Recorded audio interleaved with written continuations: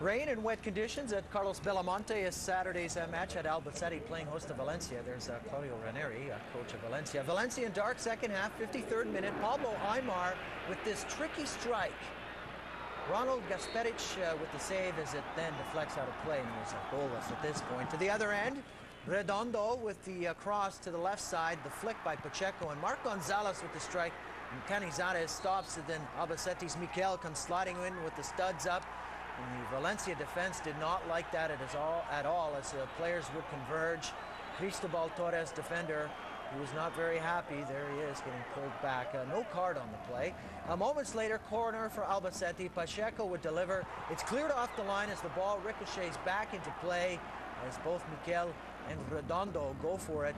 And it's Fiore that saves it for Valencia. And that chance in the 69th, and that seemed to frustrate Albacete coach Jose Gonzalez. I think he wanted that one.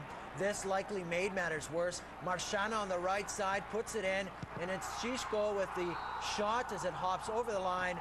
1-0 Valencia. That goal in the 88th. Albacete lose for the sixth time. Valencia are 10. Sharp from the get-go. Ronaldinho showing the skill that has him up for Player of the Year honors early on, making people miss before playing it ahead effectively. From there, it's slotted to Eto'o, but Calatayud is out quickly to break things up. And Eto'o showing that good sportsmanship he always brings to the park. Not long later, Samuel Eto'o breaks through the defense and then fires past his friend Calatayud. It is his 11th of the season, and no apologies there.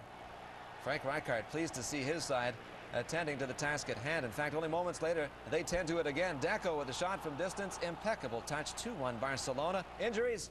What injuries? Still up by two in the second period. Barca comes close to making it three. Eto'o to Iniesta.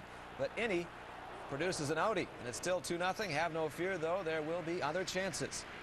In fact, chances like this one. Deco sent in mano a mano, but he loses the handle. But there to clean it up, Iniesta. In it goes. No missing this time. 3-0 Barcelona, and the route officially declared on by the Fox Sports World Report. Barca substitute Messi then looks anything but, charging through the through ball, then shooting, but Calatayud steers it aside. Messi perhaps wondering if he should have gone back stick to Eto'o, who looked open. But no worries because Samuel is going to get that second of the game. This in the final minute. Iniesta playing provider. 4-0 Barcelona. The banged up hosts looking good ahead of their Champions League game in the Ukraine on Tuesday.